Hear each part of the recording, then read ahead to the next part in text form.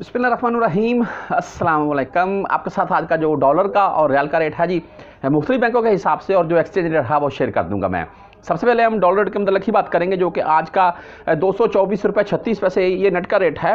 वैसे दो सौ चौबीस रुपये पचास पैसे तक स्टेट बैंक का रेट है और दो सौ छब्बीस से दो सौ सताईस रुपये ये ओपन मार्केट का रेट है। यहाँ पर आपको एक पिक्चर दिखा रहा हूँ मैं।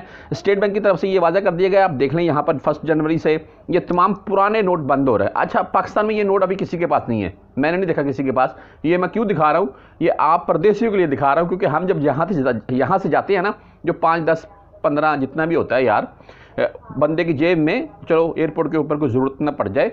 तो वो साथ लेकर जाता है तो उसमें कुछ पुराने नोट चले जाते हैं, जो कि फिर वो दो चार साल पाकिस्तान वापसी नहीं होती है तो इसी लिहाज से फिर वो नोट जेब में पड़े रहते हैं। ये भाई बाद में नहीं चलेंगे, अगर आपकी पॉकेट में वहाँ पर कुछ है तो वहीं पर चेंज करवा लें, हो जाएँगे। ठीक है जी? अगर वो पाकिस्तान आ रहा है तो उससे उससे उसको, उससे यानी कि चेंज करवा लें या उसको दे दें। ये तरीकाकार है जी।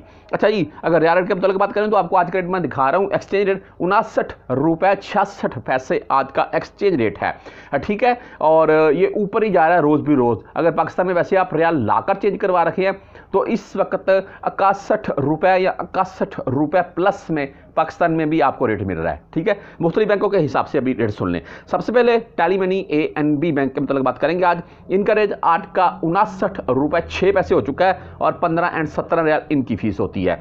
ऐसे इंडिया एंड बांग्लादेश को मैं आज बताना भूल गया। इंडिया का बाईस रुपये कुछ पैसे है एंड बांग्लादेशी टका अट्ठाईस टके छत्तीस पैसे हो चुका है।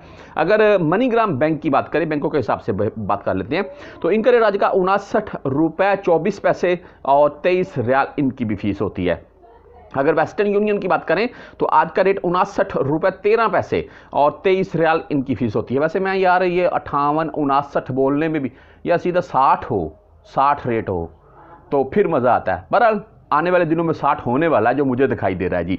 आगे राज़ी बैंक की बात करें, तहरीर राज़ी की तो उनासठ रुपये नाइन्टी नाइन, यानी कि साठ रुपये बोल रहे हैं, इनका रेट हो चुका है। अल राज़ी बैंक का हाई रेट चल रहा है इस वक्त और दस, सत्रह एंड पच्चीस रियाल इनकी फ़ीस होती है।